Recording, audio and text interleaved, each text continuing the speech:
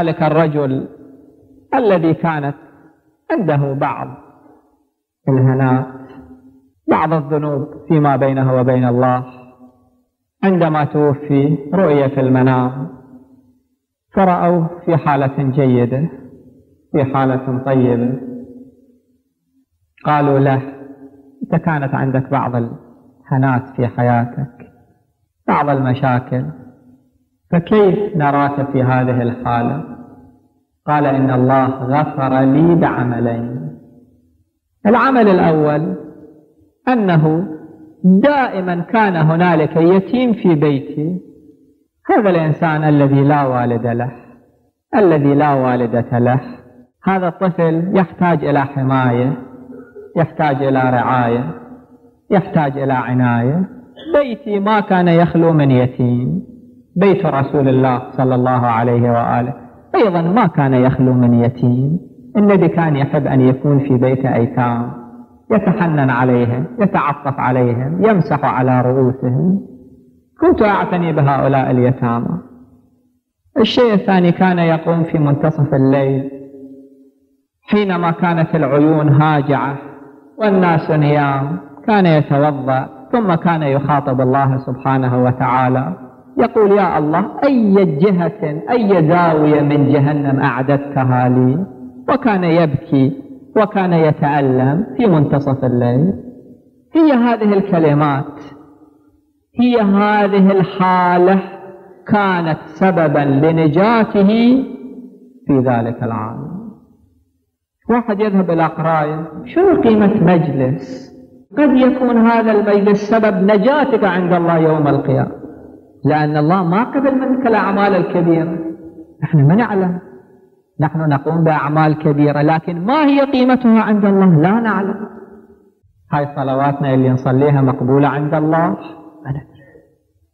هذه الصلاة هل فيها رياء وهل فيها سمعة؟ لا نعلم. هذه المشاريع الخيرية التي نقوم بها هل فيها محاولة لتخليد الذكر أن أذكر إذا العمل ما كان ينسب إلي. أنا كنت أقوم بهذا العمل.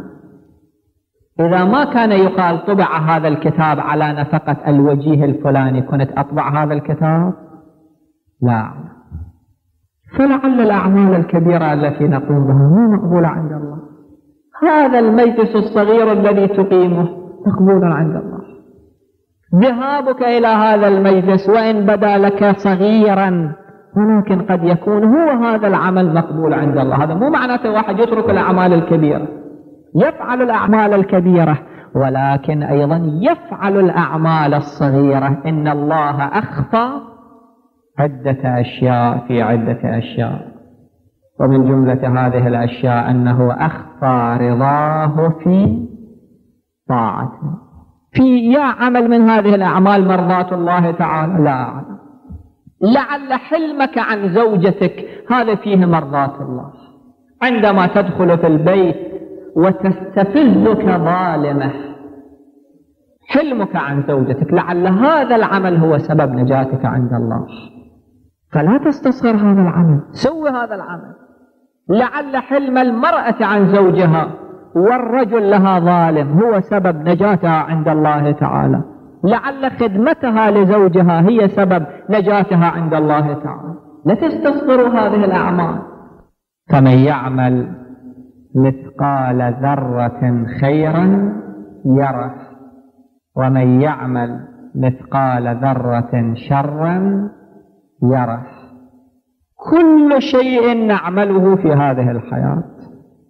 بعض الصحابة من أصحاب رسول الله صلى الله عليه وآله كانوا يتصورون أنه فقط الله تعالى يلاحظ الأعمال الكبيرة.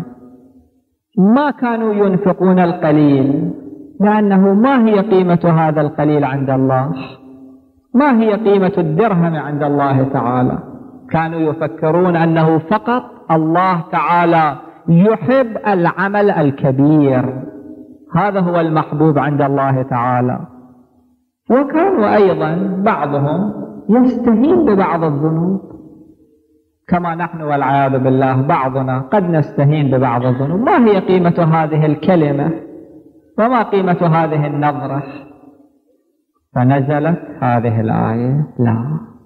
فمن يعمل مثقال ذرة خيرا يرى درهم واحد. واحد لا يقول أنه ما هي قيمة هذا الدرهم؟ تجد فقيرا. عندك درهم واحد لا تخجل من إعطاء الدرهم. أعط الدرهم. هذا له قيمة عند الله. وترى هذا الإعطاء في يوم القيامة. أو أنه هنالك حجر في الطريق. شنو قيمة إزاحة حجر في الطريق؟ ما له قيمة عندنا ولكن عند الله له قيمة. تعمل هذا العمل وله قيمة كبيرة عند الله تعالى. أنت أويت إلى فراشك منهك متعب بعد يوم من العمل الشاق مثلا. ما تتمكن في بعض الأحيان واحد أن يتكلم. ألفاظ ما يتمكن يتكلم. ولكن هذه الألفاظ لها قيمة كبيرة عند الله. ربما هاي الألفاظ تكون سبب نجاتك عند الله يوم القيامة.